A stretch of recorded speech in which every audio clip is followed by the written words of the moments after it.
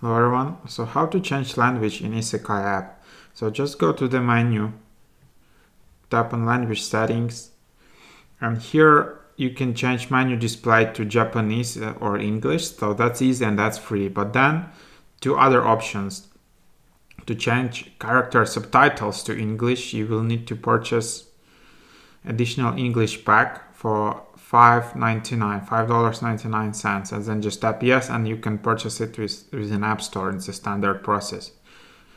And then you can also uh, enable English speech recognition. So when you speak in English, uh, the character can recognize it.